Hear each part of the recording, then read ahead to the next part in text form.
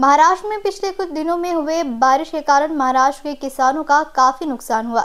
ऐसे में अब विरोधी दल की ओर से मांग की जा रही है कि पंचनामा ना करते सीधी मदद किसानों को की जाए। नाही याच्यामध्ये विषय असा आहे की सर्वदूर पाऊस झाला अतिवृष्टी झाली शेती पीक नष्ट कापसाचं पीक गेलेलं आहे धानाचे पळे गेले अनेक ठिकाणी रोवणं लावू अं, रोवण्याची लागण झाली नाही.